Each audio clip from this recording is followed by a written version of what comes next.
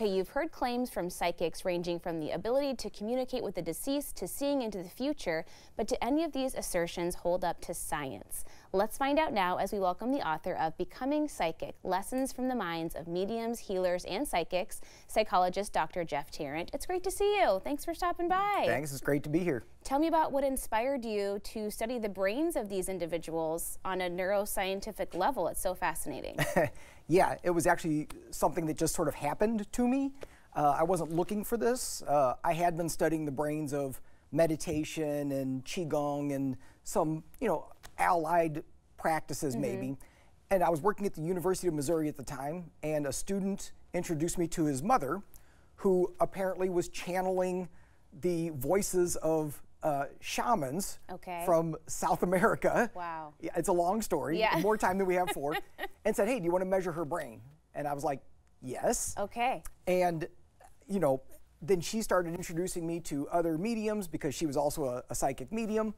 And as they say, you know, the rest is history. It's just kind of continued from there. Your first case study just delivered to you right then and there in your classroom. It was huge. Okay, so tell me about yeah. what you actually go through in terms of using EEG technology to go inside people's brains while this activity is happening.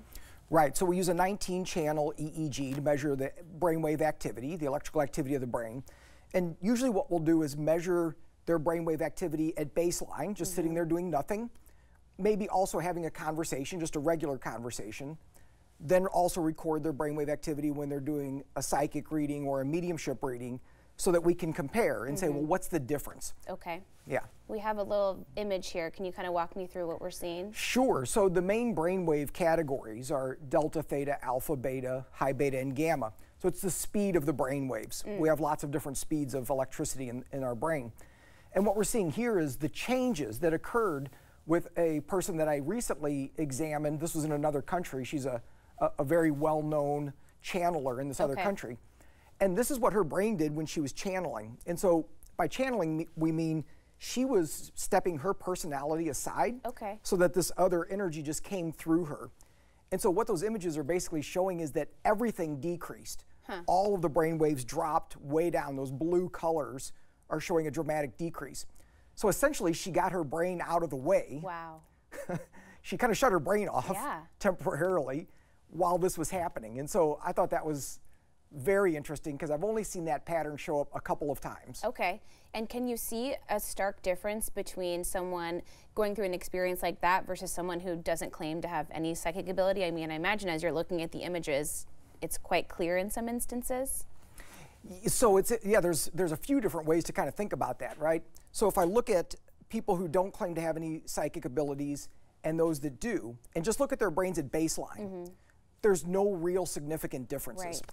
The differences show up when they're doing their work. Mm -hmm. So kind of like that image we just saw, when they're actually doing a psychic reading or a mediumship reading, that's where we see dramatic changes that we don't see normally. Normally, the brain doesn't change that much. Okay. It's pretty stable. Sure. I think we have another image to show that can kind of illustrate sure. further the point. Tell me about what we're seeing here.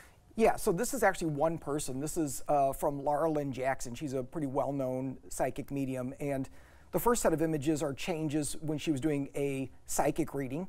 And the bottom row is when she was doing a mediumship reading. She, oh. makes, she makes a distinction between okay. the two. And you can actually see that the brain changed in different ways. Uh, so th th for her, those practices are not the same thing. Huh. They're different things, and the brain changed uh, in different ways. And is that pretty unique to her? Do most people kind of go one way or the other in terms of what they're capable of, of offering, I guess?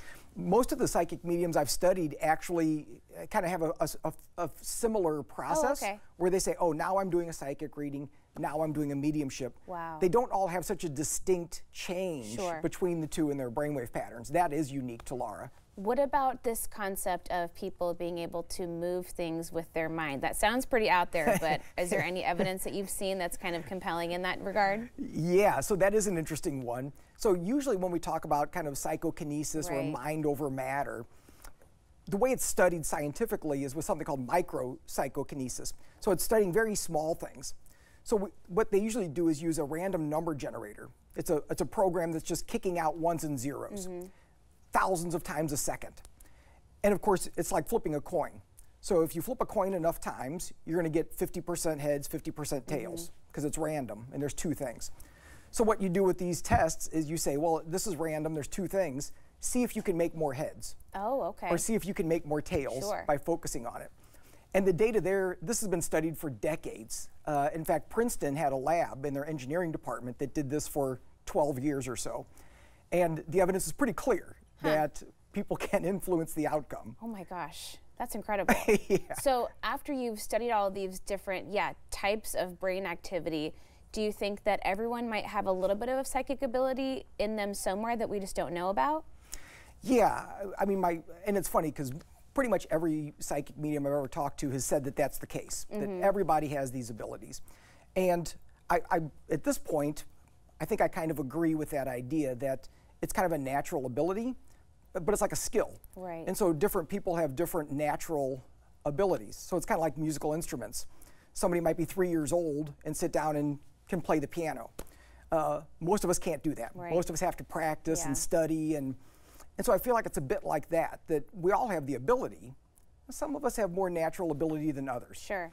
What about just from a scientific perspective? What do you think about people communicating with people who have passed on? Is that possible? Again, it's an interesting one, right? Because Yeah. it's a little bit hard to kind of wrap your brain around it. It's like, is that really happening? All I can say is that I've seen enough what they what they will call evidential mediumship. So that's producing concrete information that is sort of irrefutably connected to a specific deceased person. Yeah. And so when that happens, it is kind of mind-boggling when you see it in real life Yeah. because it's kind of like how did they where did they come up with that? Now, does that mean they're actually talking to the dead person or maybe they're picking it up psychically? Sure. Uh, who knows? But one way or another they're getting information they shouldn't have access Right. to. Well, and then as you continue your research and more people who have these abilities hear about you, are they coming to you and saying, "Oh my gosh, hook me up! I want to see what's happening in my brain. That's so cool." It is actually happening. Yeah. I, you know, probably once a week or so, I get an email or a phone call from somebody who, you know, is interested in, in you know, being part of some research or, you know, having me look at their specific thing that they yeah. do. Endlessly fascinating. Hey, Yeah. thank you so much for visiting with us again. Thanks for Great having to me. see you. Dr. Tarrant's book again is Becoming Psychic. We'll have more information on our website at katu.com.